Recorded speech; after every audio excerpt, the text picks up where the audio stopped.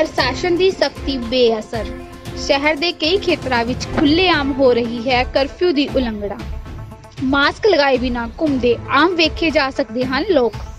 ਪੰਜਾਬ ਸਰਕਾਰ ਵੱਲੋਂ ਲਗਾਤਾਰ ਵੱਧਦੇ ਕੋਰੋਨਾ ਵਾਇਰਸ ਦੇ ਪ੍ਰਕੋਪ ਤੇ ਕਾਬੂ ਕਰਨ ਲਈ ਪੂਰੇ ਸੂਬੇ ਵਿੱਚ ਕਰਫਿਊ ਲਗਾਇਆ ਗਿਆ ਹੈ। ਪਰੰਤੂ ਇਸ ਦਾ ਕੋਈ ਖਾਸ ਅਸਰ ਨਜ਼ਰ ਨਹੀਂ ਆ ਰਿਹਾ। ਇਸ ਦੌਰਾਨ ਦੁਕਾਨਾਂ ਅਤੇ ਦਫ਼ਤਰ ਤਾਂ ਬੰਦ ਹਨ, ਪਰੰਤੂ ਸੜਕਾਂ ਤੇ ਵਾਹਨਾਂ ਦੀ ਆਵਾਜਾਈ ਕਾਫੀ ਜ਼ਿਆਦਾ ਹੈ। ਅਤੇ ਇਸ ਨੂੰ ਵੇਖ ਕੇ ਅਜਿਹਾ ਬਿਲਕੁਲ ਵੀ ਨਹੀਂ ਲੱਗਦਾ ਕਿ ਇੱਥੇ ਸਰਕਾਰ ਵੱਲੋਂ ਕਰਫਿਊ ਲਗਾਇਆ ਗਿਆ ਹੈ।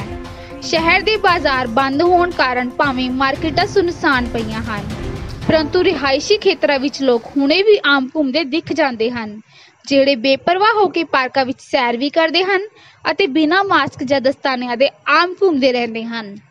ਸ਼ਹਿਰ ਵਿੱਚ ਘੁੰਮਦੀਆਂ ਸਬਜ਼ੀ ਅਤੇ ਫਲਾਂ ਵਾਲਿਆਂ ਦੀਆਂ ਰੇੜੀਆਂ ਵਾਲਿਆਂ ਵੱਲੋਂ ਵੀ ਕਰਫਿਊ ਦੇ ਨਿਯਮਾਂ ਦੀ ਖੁੱਲ੍ਹ ਕੇ ਉਲੰਘਣਾ ਕੀਤੀ ਜਾ ਰਹੀ ਹੈ।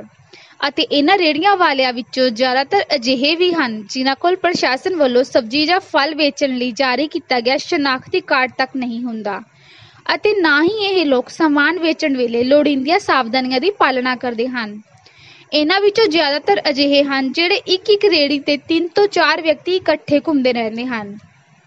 ਕਰਫਿਊ ਦੀ ਉਲੰਘਣਾ ਦੀ ਇਹ ਕਾਰਵਾਈ ਪ੍ਰਵਾਸੀ ਕਲੋਨੀਆਂ ਵਿੱਚ ਕੁਝ ਜ਼ਿਆਦਾ ਹੀ ਹੈ। ਜਿੱਥੇ ਜਾ ਕੇ ਅਜਿਹਾ ਲੱਗਦਾ ਹੀ ਨਹੀਂ ਹੈ ਕਿ ਪੰਜਾਬ ਸਰਕਾਰ ਵੱਲੋਂ ਇੱਥੇ ਕਰਫਿਊ ਲਗਾਇਆ ਗਿਆ ਹੈ।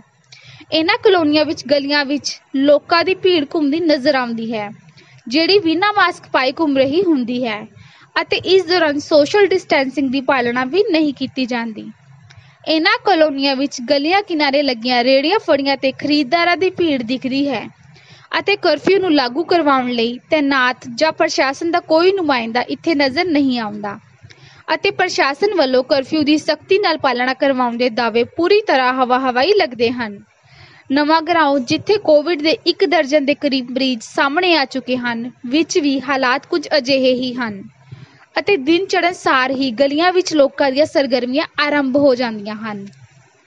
ਨਵਾਂ ਗਰਾਉਂ ਦੇ ਮੁੱਖ ਰਸਤਿਆਂ ਨੂੰ ਭਾਵੇਂ ਪ੍ਰਸ਼ਾਸਨ ਵੱਲੋਂ ਸੀਲ ਕੀਤਾ ਹੋਇਆ ਹੈ, ਅਤੇ ਕੁਝ ਥਾਵਾਂ ਤੇ ਲੋਕਾਂ ਵੱਲੋਂ ਵੀ ਆਪਣੀਆਂ ਗਲੀਆਂ ਬੰਦ ਕੀਤੀਆਂ ਹੋਈਆਂ ਹਨ। ਪਰੰਤੂ ਜ਼ਿਆਦਾਤਰ ਥਾਵਾਂ ਤੇ ਗਲੀਆਂ ਵਿੱਚ ਦੁਕਾਨਾਂ ਵੀ ਖੁੱਲ ਰਹੀਆਂ ਹਨ ਅਤੇ ਸੜਕਾਂ ਕਿਨਾਰੇ ਰੇੜੀਆਂ ਵੀ ਲੱਗ ਰਹੀਆਂ ਹਨ, ਜਿੱਥੇ ਲੋਕ ਖਰੀਦਦਾਰੀ ਕਰਦੇ ਅਤੇ ਗਲੀਆਂ ਵਿੱਚ ਘੁੰਮਦੇ ਆਮ ਦਿਖਦੇ ਹਨ। ਇਹਨਾਂ ਥਾਵਾਂ ਤੇ ਇਸ ਤਰੀਕੇ ਨਾਲ ਚੱਲਣ ਵਾਲੀਆਂ ਆਮ ਲੋਕਾਂ ਦੀਆਂ ਇਹ ਸਰਗਰਮੀਆਂ ਆਉਣ ਵਾਲੇ ਸਮੇਂ ਵਿੱਚ ਕਿਸੇ ਵੱਡੇ ਖਤਰੇ ਦਾ ਕਾਰਨ ਵੀ ਬਣ ਸਕਦੀਆਂ ਹਨ।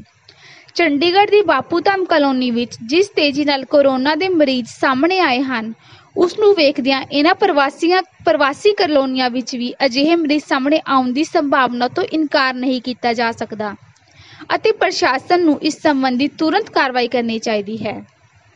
ਜੇਕਰ ਤੁਹਾਨੂੰ ਸਾਡਾ ਚੈਨਲ ਪਸੰਦ ਆਇਆ ਹੈ, ਤਾਂ ਇਸ ਨੂੰ ਸਬਸਕ੍ਰਾਈਬ ਜ਼ਰੂਰ ਕਰੋ ਅਤੇ ਘੰਟੀ ਦਾ ਸਵਿਚ ਆਨ ਕਰੋ ਤਾਂ ਜੋ ਸਾਡੀਆਂ ਖਬਰਾਂ ਤੁਹਾਨੂੰ ਲਗਾਤਾਰ ਮਿਲਦੀਆਂ ਰਹਿਣ। ਤੁਹਾਡਾ ਪਿਆਰ ਹੀ ਸਾਡੀ ਤਾਕਤ ਹੈ। ਸਕਾਈ ਹਾਕ ਟਾਈਮਜ਼ ਦੀ ਰਿਪੋਰਟ।